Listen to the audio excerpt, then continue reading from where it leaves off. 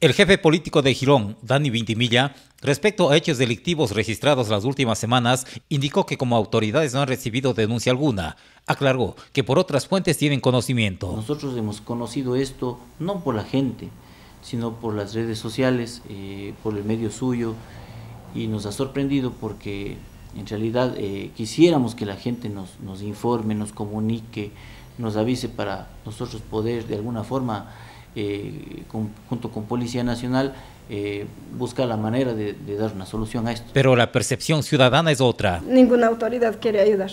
O sea, es que no pueden hacer nada. Ante ello, la autoridad dice... La gente tiene temor, en realidad, a denunciar por los canales adecuados o por las vías correspondientes.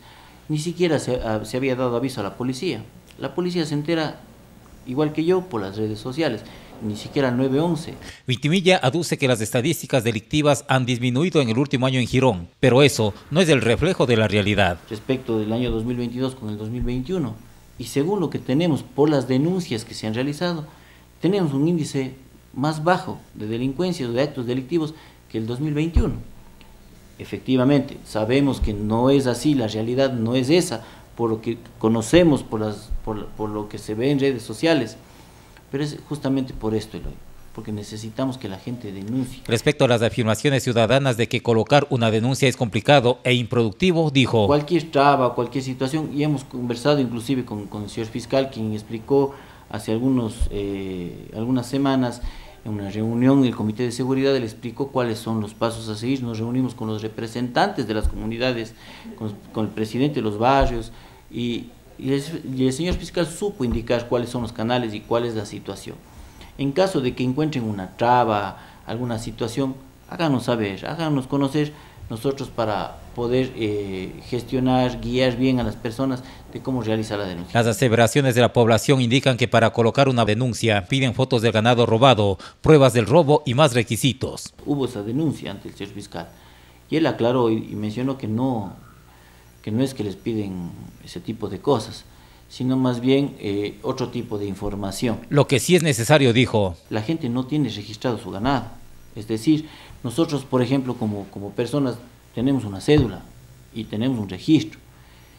El ganado de igual forma debe tener un registro para que, justamente para poder identificar cuando exista un robo. El abigeato preocupa, pero es necesario también que los dueños de ganado tengan precaución. Yo he constatado a veces el ganado al lado de la vía y suelto, o sea, claro, no debería haber delincuencia, lamentablemente esa no es la realidad, siempre va a haber delincuencia siempre va a haber y tratar, trataremos nosotros de, de, mitigar, de disuadir junto con la Policía Nacional. Otro tema de preocupación es la presencia de prestamistas extranjeros en Girón. Sí, eh, se ha hecho concientización a las personas, a la gente en general, no solamente aquí a nivel de la provincia, para evitar este tipo de, de situaciones, ya que como todos conocemos no son legales, eh, existen las entidades pertinentes para el tema de préstamos de dinero, pero en caso de que ocurriera esta situación, pedimos a la, a la, ciudadanía que denuncien también. Respecto a las cámaras de seguridad que los ciudadanos consideran no prestan servicio alguno. Quisiera pensar, o pienso más bien yo, que la delincuencia saben dónde están ubicadas y a lo mejor evaden. Es, el, es la teoría que, que, tengo, porque como digo, entiendo que las cámaras están funcionales.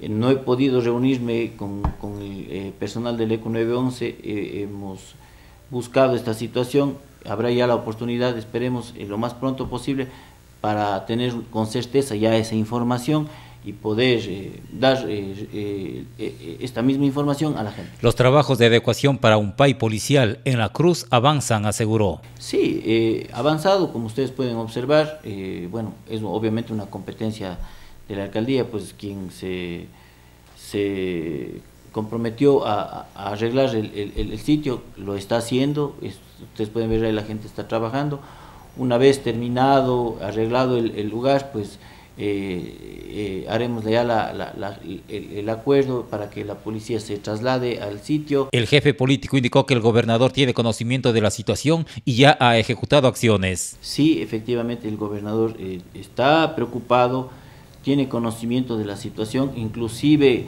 él eh, ha planteado eh, algunas eh, acciones para, para, reducir, por ejemplo, el tema de aumentamos cinco policías, se entregaron motocicletas a, la policía para de alguna forma eh, mitigar, pero obviamente él, está consciente de la situación y me ha pedido que pongamos bastante empeño en, dar solución a esta situación.